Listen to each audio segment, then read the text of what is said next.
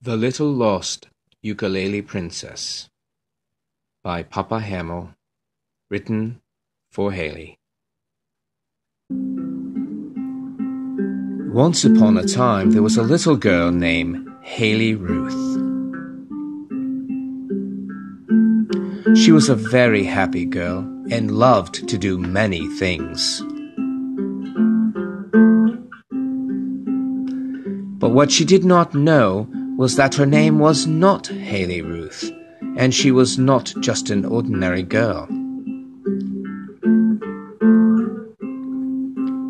She was really a princess, Hallelu Himala, the granddaughter of Johann Himala, king of Ukulele Land.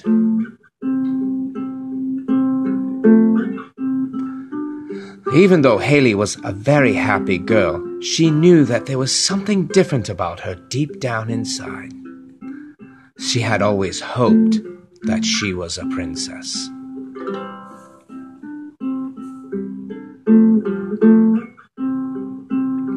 Meanwhile, King Johann was growing weary of always playing the ukulele alone.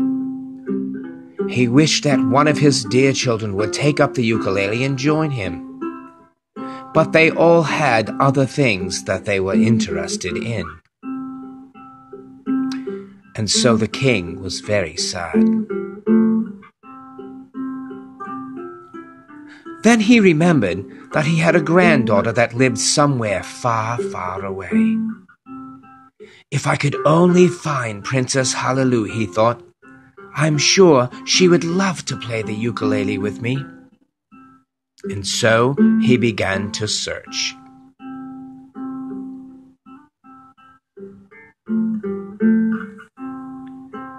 Someone said they saw her working in a bakery.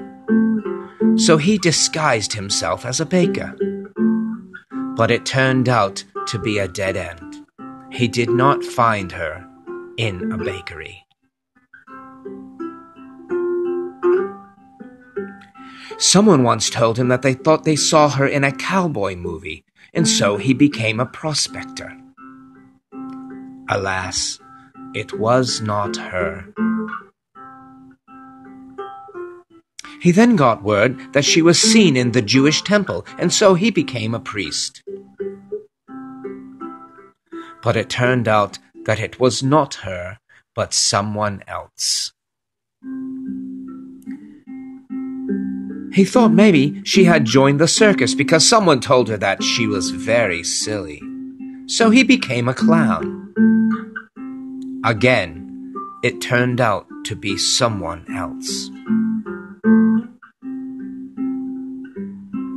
He was beginning to lose hope that he would ever find his little princess.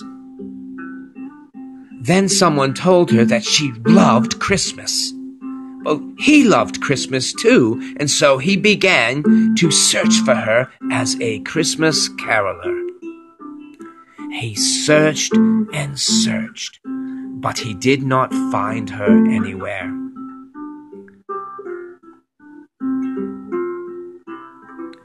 So the king went back to playing the ukulele all alone. He prayed some day that the little lost ukulele princess would find her way back to ukulele land.